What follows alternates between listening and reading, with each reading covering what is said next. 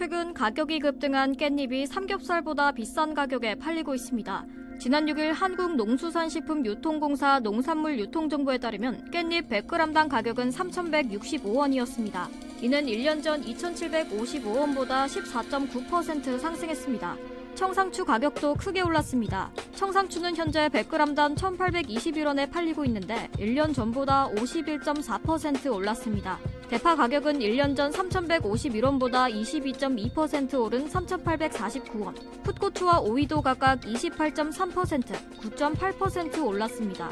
반면에 축산물 가격은 하락했습니다. 100g 기준 국산 삼겹살 가격은 2,665원, 목살은 2,496원으로 작년보다 약 4% 하락한 것으로 나타났습니다.